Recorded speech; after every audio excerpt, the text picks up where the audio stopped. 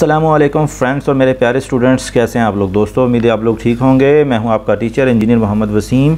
आज आप लोगों के लिए एक बहुत ही ज़बरदस्त वीडियो जो कि आपके मसाइल के हल से रिलेटेड है। दोस्तों, इस वीडियो में मैं आपको बताऊँगा कि लेटेस्ट जो स्कॉलरशिप आई हुई हैं for the diploma holders matric students या जो एम ए बी ए या एम एस सी कर रहे हैं या एम फिल कर रहे हैं या कोई M B B S student कर रहा है, पर मंथ उसको जो है ना वो हैंडसम अमाउंट ऑफ़ मनी जो है ना वो मिलने जा रही है। अगर आप इस स्कॉलरशिप के अंदर अप्लाई करेंगे, क्योंकि इसकी डेट है इकतीस अक्टूबर, बस छः सात दिन रह गए हैं। मैंने सोचा इस पर ज़रूर वीडियो बनाई जाए, आपको बताया जाए। दोस्तों, सबसे पहले आपने क्या करना है, यहाँ गूगल ब्राउज़र में चले जाना है और इस स्कॉलरशिप के ऊपर जो है ना क्लिक करना है। ये आपने लिखना है Alfalah double S dot O R G slash downloads slash इसके ऊपर क्लिक करेंगे तो आपको ऐसा पेज एक नज़र आ जाएगा जिसके ऊपर लिखा हुआ है अल्फला स्कॉलरशिप स्कीम्स तो यहाँ पर डाउनलोड्स के अंदर जब आप जाएँगे तो आपको यहाँ पर वाज तौर पे नज़र आ जाएगा कि लास्ट डेट जो है ना वो यकम अगस्त से लेकर इकतीस जो है ना वो अक्टूबर 2020 तक जो है ना ये डेट है। इसमें आपके पास जो जितने भी डिज़र्विंग स्टूडेंट्स हैं, उनका जो मिनिमम 70 परसेंट मैट्रिक में मार्क्स होने चाहिए और 60 परसेंट उनके इंटर डीए या अबव में होने चाहिए। ख्वा वो डी के फ़र्स्ट ईयर में हो या सेकेंड ईयर में हो या थर्ड ईयर में हो। इसी तरह अगर वो माइनॉरिटी स्टूडेंट्स हैं, उनके लिए थोड़ा सा कोटा कम है, यानी वो 60 परसेंट उसको कम अज़ कम होना चाहिए मैट्रिक में, वो 55 परसेंट डी अब इसमें और कुछ चीज़ें हैं मज़े की बात। इसमें इकरारनामे दो दाखिल करवाने पड़ेंगे। एक इकरारनामा जो पहला है, वो उन स्टूडेंट्स के लिए जो कि इंटरमीडिएट कर रहे हैं B A B S C या बी कॉम कर रहे हैं। ठीक है, वो ए फोर पेज के ऊपर प्रिंट करेंगे और एप्लीकेशन फॉर्म के साथ ये लगाएँगे इकरारनामा, अगर वो ये क्वालिफ़िकेशन कर कर रहे हैं। दूसरा इकरारनामा उन स्टूडेंट्स के लिए जो कि मेडिकल के स्टूडेंट्स हैं इंजीनियरिंग के स्टूडेंट्स हैं एमएस कर रहे हैं या कोई डिप्लोमा कर रहे हैं। वो क्या करेंगे कि बीस रुपये का या चालीस रुपये का चलान लेंगे नोटरी से, यानी अदालत से लेंगे स्टाम्प पेपर उसके ऊपर ये इकरारनामा प्रिंट करा कर और उसको फिल करके आगे भेज देंगे। तो अब ये नीचे देखें कि ये जो आपके पास ये जो नीचे कुछ अगर आपको मसला, मसाइल है कोई हेल्प चाहिए तो इस नंबर पर रबता कर सकते हैं। और रीजनल जो कोऑर्डिनेटर हैं, जैसे अगर कोई फॉर एग्जांपल पिंडी रीजन का है तो वो नार्थ जोन में असद अशरफ साहब हैं, इनके रीजनल कोऑर्डिनेटर उनका ये मोबाइल नंबर है और ये उनका ऑफ़िस नंबर है। ये उनका एड्रेस है जिसके ऊपर आपने डाक भेजनी है, यानी disasters management centre near Jang plaza Marrir चौक, रावलपिंडी। सिमिलरली इसी तरीके से K P K A J K central Punjab Sindh Karachi Quetta और सब ऑफ़िस खारियाँ वगैरह में भी हैं। अब करना क्या है आपने? एक और मज़े की बात, अगर फॉर एग्ज़ाम्पल वो स्टूडेंट्स जो कि अटक, इस्लामाबाद, बखर, ये जो सामने लिखे हुए नाम, इनसे हैं, इनसे रिलेटेड हैं, यानी इस ज़िले से बिलोंग करते हैं, वो डायरेक्टली क्या करें? अल्फला स्कॉलरशिप स्कीम का जो सब ऑफ़िस है Pakistan overseas higher secondary school मंडीर डिंगा रोड खारियाँ पाकिस्तान इधर वो लोग भेजें अपना। जो भी केस है, पूरा का पूरा। अच्छा अब केस में क्या क्या चीज़ें होंगी? सबसे पहले नंबर पे हमें क्या करना पड़ेगा? यहाँ पे फॉर्म डाउनलोड करने पड़ेंगे। सबसे पहले एक एप्लीकेशन फॉर्म होगा। एप्लीकेशन फॉर्म के साथ बोनाफाइड सर्टिफिकेट होगा, जो कि स्पेसिमेन की तरफ़ से होगा। तीसरा आपको इकरारनामा जमा कराना पड़ेगा, जो कि अगर आप तो डिप्लोमे के स्टूडेंट हैं तो आपको इकरारनामा नंबर टू और अगर आप डिप्लोमे के नहीं हैं बीए बीएससी बीकॉम के हैं तो इकरार नंबर नंबर ए करना पड़ेगा। तो ये सब मैंने डाउनलोड करके रखे हैं। आपको बताता हूँ कि ये किस तरह के हैं। सबसे पहले एप्लीकेशन फॉर्म की तरफ़ चलते हैं। तो एप्लीकेशन फॉर्म में ये देखें, ये सेशन अगस्त से लेकर इकतीस अक्टूबर तक है। इसमें आपको यहाँ पर तीन फ़ोटो जो है ना, यहाँ पर दो ज़रब, एक शरिया पाँच साइज़ के लगाने हैं। इसमें जो लोग अमीर हैं लेविश इंस्टीट्यूशन में पढ़ रहे हैं स्टूडेंट्स वो एलिजिबल नहीं हैं। ठीक है, सिर्फ़ गवर्नमेंट एम्प्लॉयज़ सॉरी जो गवर्नमेंट अदारों में पढ़ने वाले बच्चे हैं वो जो है ना इसको अवेल कर सकते हैं प्राइवेट वाले भी अवेल कर सकते हैं, लेकिन शर्त क्या है? उनके जो मार्क्स हैं मैट्रिक में 70 परसेंट आने चाहिए। ये आप पूरा एप्लीकेशन फॉर्म पढ़ेंगे, आपको बहुत अच्छे तरीके से पता लग जाएगा। इसमें कैटेगरी आपकी कौन सी है? आपके घर वाले, अगर फॉर एग्ज़ाम्पल आपकी वालदा बेवा हैं डिसेबल हैं नीड बेस हैं, आप मुस्लिम हैं नॉन मुस्लिम हैं, जो भी होगा वो यहाँ पर आपने फिल करना है। अगर आप पहले से कोई स्कॉलरशिप ले रहे हैं तो फिर आपको ये नहीं मिलेगी। उसके लिए एप्लीकेशन पर्सनल इन्फॉर्मेशन में आपको नाम फादर का नाम C N I C number date of birth cell email WhatsApp Facebook contact pit cell ये सब एड्रेस आपको फिल करने पड़ेंगे। सिमिलरली एजुकेशन आप अगर हासिल कर रहे हैं, जहरी बात है, आप स्कॉलरशिप के लिए अप्लाई किया है तो क्लास कौन सी क्लास में आप मौजूद हैं बिलोंग करते हैं?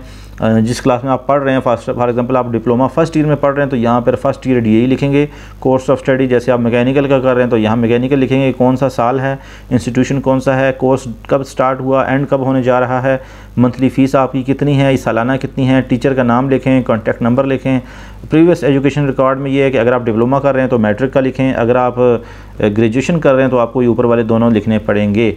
उसके बाद आपको क्या करना है दोस्तों, आपको उसके बाद अगला ये फैमिली का बैकग्राउंड थोड़ा सा यहाँ पर ये सारा फिल करना पड़ेगा।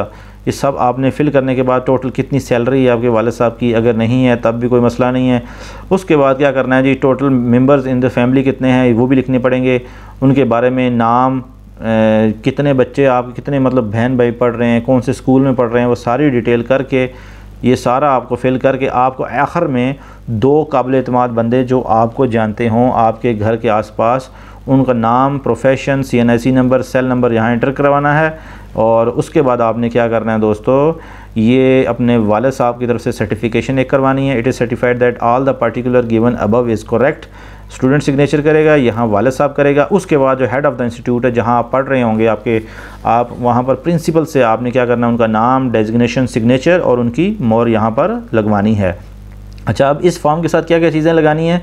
इस फॉर्म के साथ आपको सबसे पहले सीएनआईसी की अपनी कापी लगानी है या बे फॉर्म की लगा दें। फादर का सीएनआईसी तीन फ़ोटोग्राफ बिजली का बिल और photocopy of father mother salary slip उनकी लगा दें। आ, उसके बाद फ़ोटोकॉपी ऑफ़ तमाम पिछले जो एग्ज़ाम का जो रिज़ल्ट है, उसकी फ़ोटोकॉपी लगाएँ फ़ीस स्लिप लगाएँ बोनाफाइड सर्टिफिकेट वो लगाना है, इकरारनामा लगाना है। अगर आप को मैंने जैसे बताया कौन सा इकरारनामा आपका है, वो करने के बाद आपको क्या करना पड़ेगा?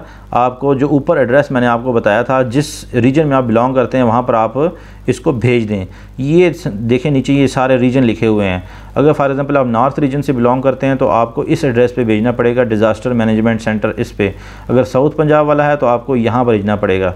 ठीक है? उसके बाद अब क्या करना है? आपको मैं बताता हूँ कि वो इकरारनामा या वो बोनाफाइड को किस तरह का होता है।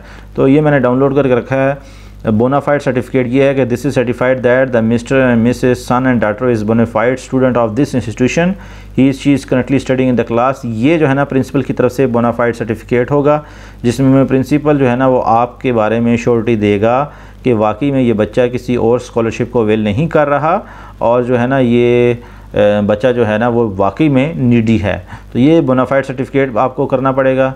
फिल फ़ोटोकॉपी करवाने के बाद, यानी प्रिंट करवाने के बाद प्रिंसिपल से साइन करवा कर और अब यहाँ पर प्रिंसिपल के सिग्नेचर अब दो फार्म पे हो जाएँगे।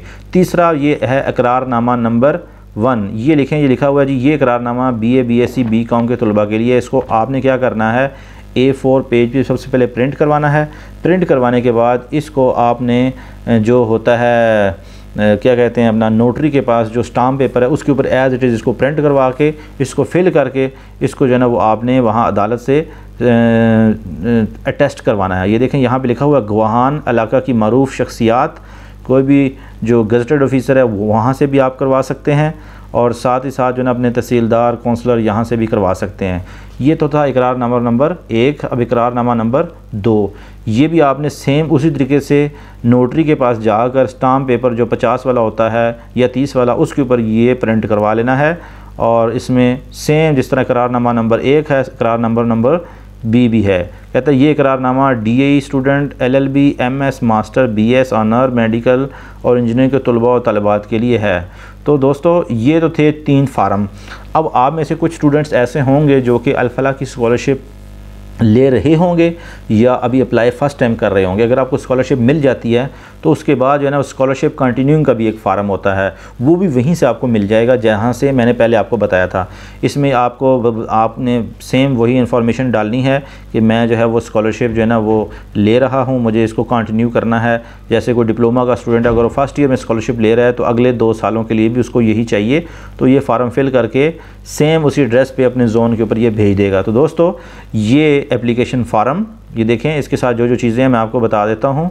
सबसे एंड पर दोबारा एक दफ़ा, सबसे पहले आपको सीएनआईसी की कॉपी फादर के सीएनआईसी की कॉपी तीन तस्वीरें, बिजली का बिल सैलरी स्लिप की कॉपी प्रीवियस एग्ज़ाम रिज़ल्ट की फ़ोटो कापी और फ़ीस स्लिप की फ़ोटो कापी लास्ट सेमेस्टर की बोनाफेड सर्टिफिकेट जो मैंने आपको बताया है, इकरारनामा जो भी आपके लिए है। अगर डिप्लोमे के लिए तो इकरारनामा नंबर दो, अगर दूसरा है तो इकरारनामा नंबर एक। ये सारी चीज़ें आपने क्या करना है? एक शापर में डालनी है, एक कागज़ में डालनी है। डालने के बाद आपने इन रीजन में से जिस भी रीजन के साथ आपका तल्लक है, उस ऑफ़िस एड्रेस के ऊपर आपने इसको रवाना कर देना है। लेकिन ये जहन में रखें कि 31 अक्टूबर से पहले पहले इसको रवाना कर दें ताकि आपको स्कॉलरशिप मिल जाए।